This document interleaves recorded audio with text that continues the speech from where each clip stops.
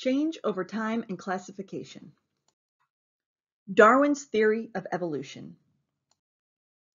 In 1859, a man by the name of Charles Darwin published a book named The Origin of Species. Before he published this book, two ideas about life on Earth prevailed. One was that species are fixed or permanent. In other words, they did not change. The other idea was that Earth itself is less than 10,000 years old and also relatively unchanging.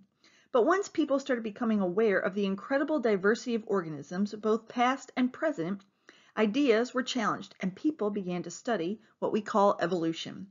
In the biggest sense of the word, evolution is all of the changes that has transformed life over an immense length of time.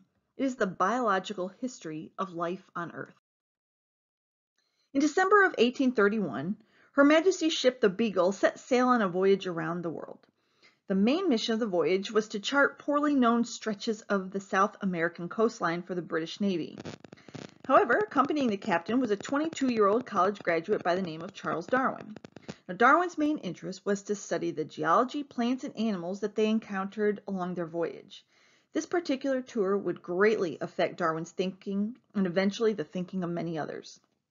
Now, the Beagle made many stops along the coast of South America. From there, the ship traveled to the Galapagos Islands, and Darwin observed living things as he traveled. He thought about the relationships among those organisms that he saw. One of his important observations included the diversity of living things, the remains of ancient organisms, and the characteristics of organisms on the Galapagos Islands. Darwin concluded that the world included a tremendous diversity of living things in a wide range of habitats. Animals have different characteristics, and those especially in the Galapagos Islands, where they occupy different habitats in the same area, were a particular um, idea for him to study.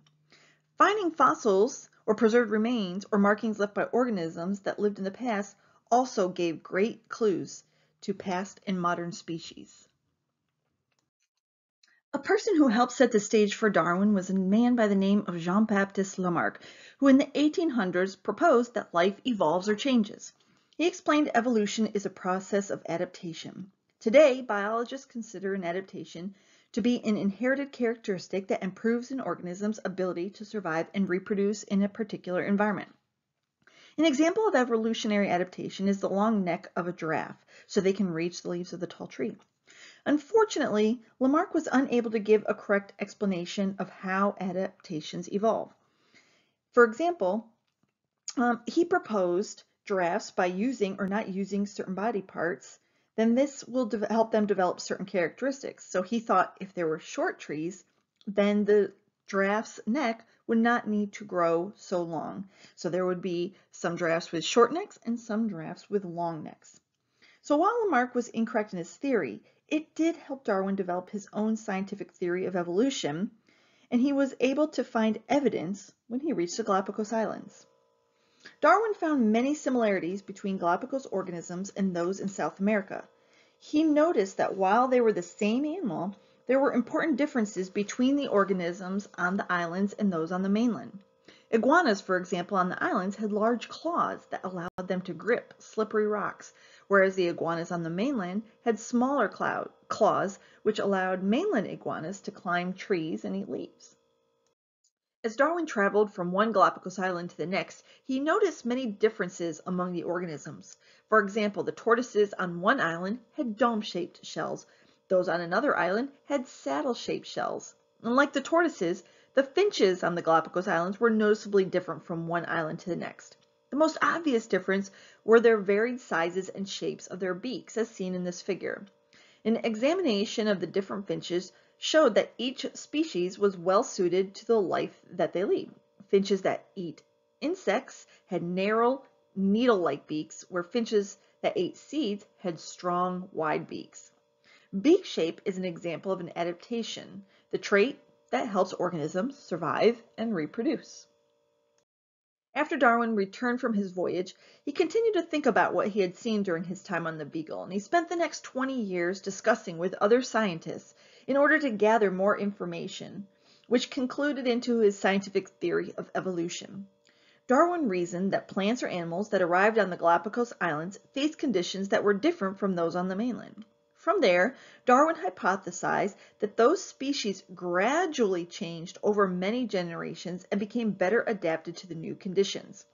In 1858, Darwin worked with a British biologist by the name of Alfred Russel Wallace to discuss how evolution occurs in nature. Darwin went ahead to write a book entitled The Origin of Species, where he proposed evolution occurs by means of natural selection. Natural selection is the process by which individuals that are better adapted to their environment are more likely to survive and reproduce than other members of the same species. Darwin would go on to write and identify factors that affect the process of natural selection, overproduction, competition, and variations. Darwin knew that most species produce far more offspring than can possibly survive. In many species, for example insects, so many offspring are produced that there are not enough resources like food, water, and living space for all of them. If all thousands of eggs of a female insect hatched, the earth would be overrun by insects. Since food and other resources are limited, the members of the species might compete with each other to survive. Competition does not always involve direct physical fights between members of a species. Instead, competition is usually indirect. Going back to our example of the thousands of insect eggs that are laid, only few of these insects will survive because many insects that hatch will not find enough food to survive to eat. There are also going to be predators that live off the insect eggs for their own survival, and finding a cluster of eggs would be a meal for a predator. Darwin also knew that individual members of a species exhibit slight differences or variations. A variation is a slight difference of inherited trait of an individual member of a species. Variations arise naturally in a population, and you might recall from our previous chapters that variations are caused by random mutations or changes in genes. Mutations can lead to changes in phenotype or observable traits and characteristics of an organism. If a mutation or variation lead to better survival, then this phenotype will most likely be passed on to future, future generations. It is important to note that without variation, all members of a species would have the same traits and natural selection would not occur because everybody would have an equal chance of surviving and reproducing. Darwin was unable to explain what caused variations or how they were passed on, but we now know that it's the mutations and the shuffling of alleles during meiosis that cause these variations. Okay, it's time to show what you know.